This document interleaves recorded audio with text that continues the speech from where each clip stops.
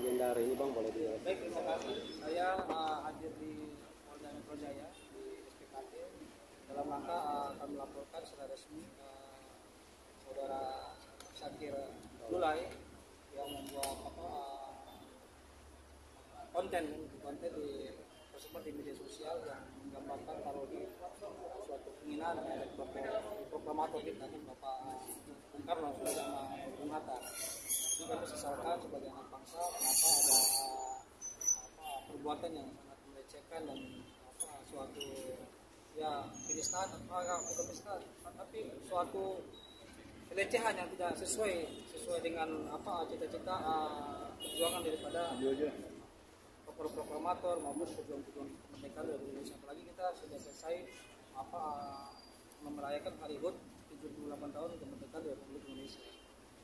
Jadi kita ke Jaya untuk melakukan secara resmi dan kita melihat bahwa ini terjadi apa, uh, penyebaran berita yang membuat, membuat kegaduhan dan ini hal ini yang tidak kita benarkan dan kita akan laporkan semoga laporan ini bisa diterima dan bisa diproses sama seterusnya mungkin nanti sekjen saya akan. Baik, eh, rekan-rekan semua. Sini saya tambahkan. Ada beberapa hal yang menjadi dasar kita untuk melaporkan sakit. Yang pertama meniru eh, Bapak Proklamator kita dalam menyampaikan dalam isi kontennya. Yang kedua memparodikan teks proklamasi yang kita semua anggap itu sakral. Proklamasi ini teks ini kita semua tahu ini ini menjadi eh, dasar kita negara kita ini merdeka. Yang ketiga di saat pembacaan kontennya di dalam kontennya pembacaan proklamasi jomblo jomblo jomblowati yang dia sampaikan itu berlatar belakang backgroundnya background background para pahlawan.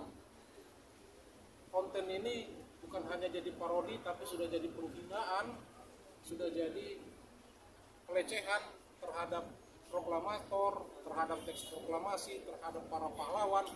Kita tidak masalah. Silakan anak, anak bangsa berkarya tetapi ada norma-norma yang harus dipatuhi dan selanjutnya laporan kita dasar dasar laporan kita adalah menimbulkan kegaduhan.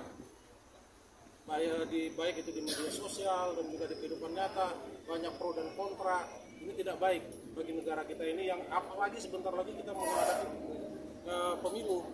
Ditambah riak-riak seperti ini jangan sampailah menambah mena- me- menjadi panas di negara ini begitu. Jadi dasar-dasar itu tadi kami sepakat kita sudah berkoordinasi dengan para sahabat-sahabat yang lain. Kita sepakat untuk melaporkan hal ini menjadi pelajaran bagi yang lain. Silakan buat konten silakan berkarya silakan berkreasi tapi tetap patuhi norma-norma yang ada di negara kita ini. Sekian terima kasih. Ah, untuk materi dan bukti-buktinya bang. Materi yang kita bawa ini konten kan sampai saat ini apa uh, terjadi ini kan Instagram ini terus ini beberapa komentar daripada uh, netizen dan semua itu mengecam dia nggak ada yang